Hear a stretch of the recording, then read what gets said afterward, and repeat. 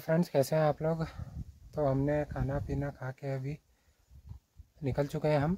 तो मैं आ गया हूँ घर से नीचे। राजू भैया लोगों का वेट कर रहा हूँ यहीं से आएँगे अभी। तो मैंने हाथ में ये फावड़ा पकड़ा है, एक छोटा वाला। मंदिर जा रहे हैं हम सफ़ाई के लिए, जैसे कि मैंने आपको बताया था।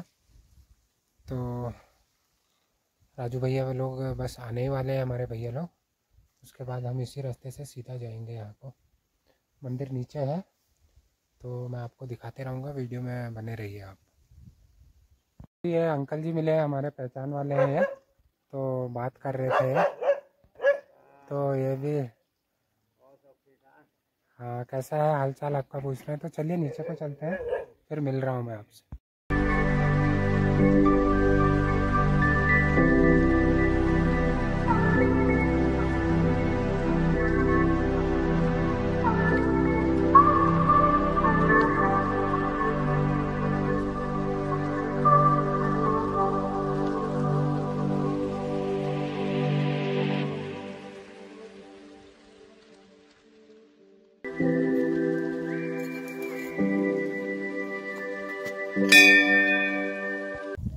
तो मैं फाइनली पहुँच चुका हूँ मंदिर में और हमसे पहले भैया लोग आ गए थे। ये हमारा छोटा भाई कार्तिक है, ये राजू भैया और ये सुंदरता, ये लगे हुए हैं, मैं भी अभी पहुँच रहा हूँ। तो चलिए अभी पहले बहुत ज़्यादा ये हो रहा है यहाँ पे झाड़ियाँ हो गई हैं तो इनको काटते हैं, इकट्ठा करते हैं, उसके बाद आपसे दोबारा मिलता हूँ, मंदिर की जानकारी देता हूँ आपको थोड़ी बहुत।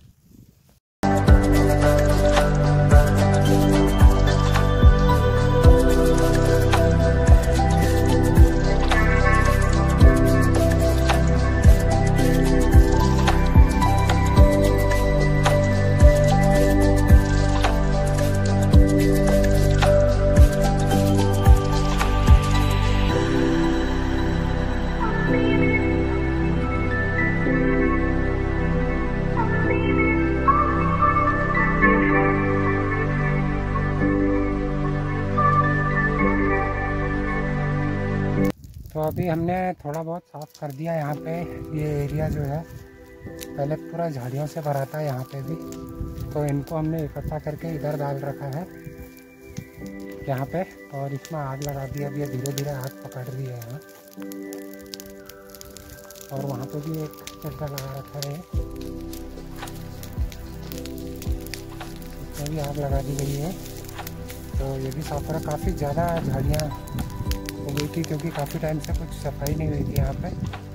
तो देख सकते हैं आप, ये हमारे शरीर में भी पूरे महीन वाले कुम्भर चुप चुके हैं। अब घर जाके इनको बदल के एक एक करके निकालना पड़ेगा।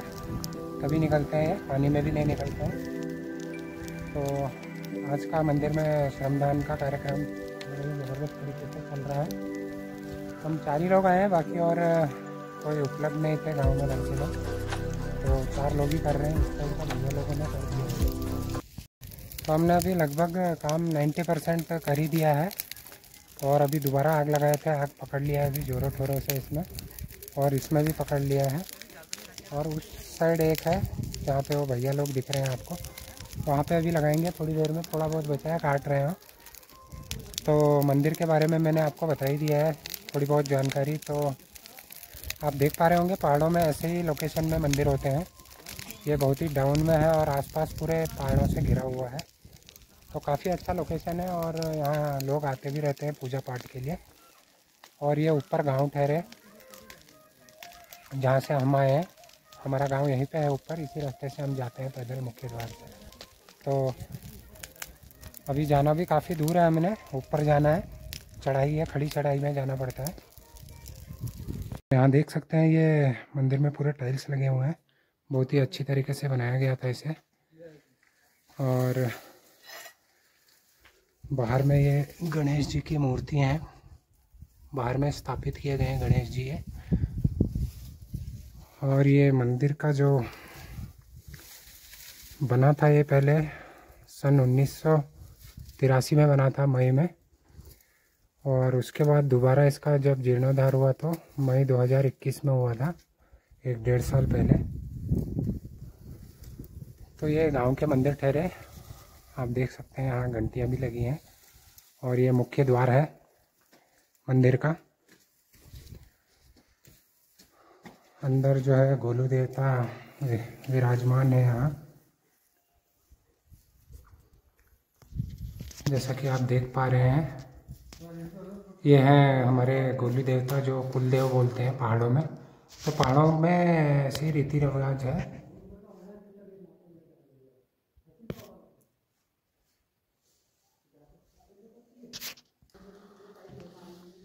और ये जो छोटे साइड में पत्थर जैसे लग रहे हैं, आपको ये जो रखे हुए हैं, ये भी देवता हैं। अलग अलग देवता हुए हैं। इनकी भी पूजा होती है तो ये मुख्य देवता तो ये बीच में स्थापित किए गए हैं। कुल देवता और साइड में रखे गए हैं और देवताओं को। तो यहाँ पे पूजा पाठ होती है अभी तो बाहर से ताला लगा है मंदिर में। तो आपको यहाँ से सही तरीके से दिख रहा है।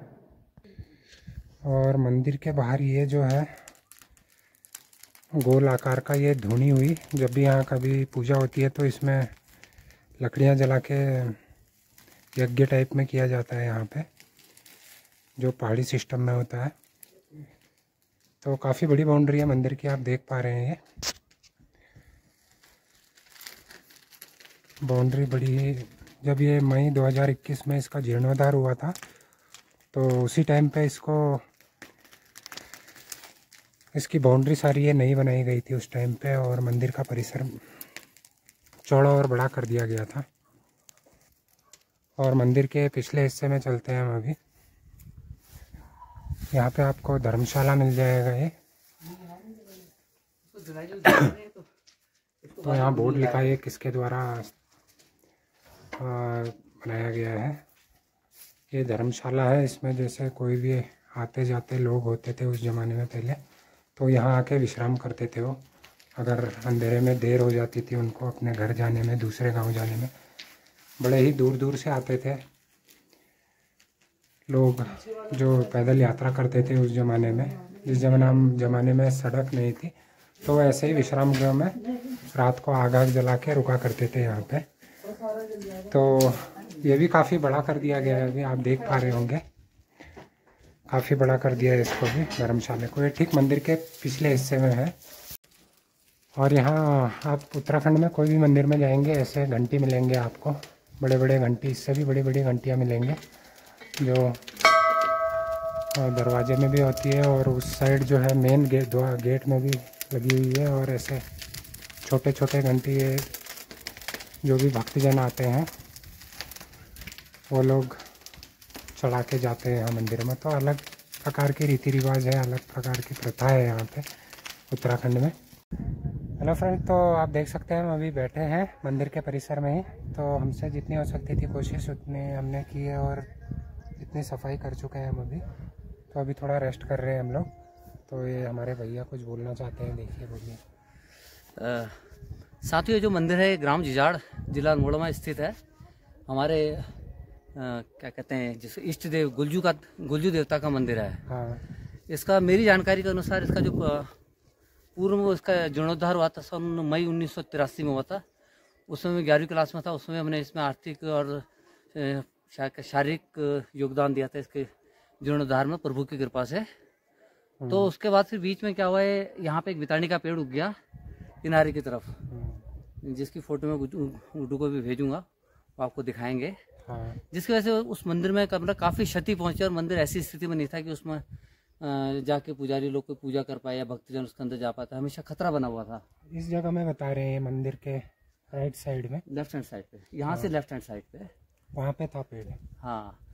तो समझ तो ग्राम वासियों ने के सहयोग से जिजाड़ी और जिजाड़ी और सिराड़ी परिवार के सहयोग से इस मंदिर के जीर्णोद्धार का हमने निर्णय लिया और हमने कोशिश की 2020 में। और लेकिन बीच में कोरोना की वजह से काफ़ी समय तक काम अटका रहा। हम्म, लेकिन अंततः ये काम संपन्न हुआ और अक्टूबर 2021 में इस मंदिर में जाग लगा के इस मंदिर का पुनः पुनः जीर्णोद्धार किया गया। हम्म, और आज ये मंदिर इस स्थिति में है। प्रभु कृपा से सब ठीक ठाक ही लग रहा है हमें तो। और अब आते हैं भक्तजन भी आते हैं पूजा पाठ पूजा अर्चना करते हैं। हम भी आज यहाँ पे आए थे। एक्चुअली हम मैं यहाँ पे एक्चुअली में मैं बताऊँ यहाँ पे अक्टूबर में भी मैं आया था लेकिन अक्टूबर में क्या तो बारिश की वजह से काफ़ी यहाँ पे खरपतवार काफ़ी उगे थे किनारे की तरफ़ झाड़ियाँ काफ़ी उगी थी जिससे पीछे की तरफ़ तो जाना ही मुश्किल हो रखा था और उसमें उखाड़ना ही बड़ा मुश्किल था क्योंकि बरसात कंटिन्यू थी। हाँ। तो इस समय मुझे थोड़ा शादी ब्याह का सीज़न चल रहा है गाँव में तो उसमें हम आए थे तो इसीलिए मैंने आज बच्चों से अनुरोध किया कि आज जाके नीचे थोड़ा कोशिश करते हैं अपनी तरफ़ से जितनी साफ़ सफ़ाई हो सके। हम्म, तो हमने आज अपनी तरफ़ से कोशिश की साफ़ सफ़ाई की और जो झाड़ था एक तरफ़ इकट्ठा कर दिया है। कुछ सूखा है कुछ गीला है उसको बाद में साफ़ कर दिया जाएगा। और हमें भी लगता है कि अब फिर भी बेहतर स्थिति में है इस समय। हाँ अभी इसी तो पहले से काफ़ी अच्छा हो गया। हाँ। तो इसी के साथ आपका बहुत बहुत धन्यवाद आपने हमें समय दिया। आपका भी बहुत बहुत धन्यवाद हमको इतनी जानकारी दे दी अभी। तो चलिए फ्रेंड्स हम अभी थोड़ी देर में निकलेंगे यहाँ से। तो गाँव यहाँ को है जहाँ से हम आए थे ऊपर को तो काफ़ी चढ़ाई लगती है। तो घर जाके मैं दोबारा आपको मिलता हूँ। तो अब हम चल चुके हैं फ्रेंड्स घर को। ये देख सकते हैं अब खड़ी चढ़ाई है पूरे ऊपर तक हमारे घर तक। हाथों में हथियार भी है। हथियार नहीं सॉरी ये फावड़ा और दराती तो ऊपर जाके। तो हम अभी ऊपर आ गए थे यहाँ। तो यहाँ पे एक जगह शादी है टेंट लगा रहे हैं। हमारे भाई लोग हैं। तो यहाँ खाने का प्रोग्राम चल रहा है इनका रात का बारात के घर का। तो पहाड़ों में ऐसे ही होता है खाना ये पूरी बनने लग गई अभी से टाइम से बना देते हैं। और ये सब हमारे पहचान वाले हैं। तो ऐसा लंबी बखाई है। तो चलिए फ्रेंड्स अभी जा रहे हैं ऊपर को, फिर ऊपर जाते जाते कहीं अंधेरा हो जाएगा तो ऊपर जाके मिलते हैं। तो फ्रेंड्स हम फाइनली पहुँच चुके हैं अभी घर। टाइम पे आ गए थे और अभी आके चाय पी रहे हैं, भैया लोग भी पी रहे हैं और ये मम्मी भी यहीं बैठी है हमारी। तो दुकान के पास रुके हैं अभी, घर पहुँचा नहीं हो, ऊपर है तो चलिए फिर आशा करता हूँ आपको वीडियो पसंद आई होगी। तो चैनल को लाइक कमेंट और शेयर ज़रूर करें।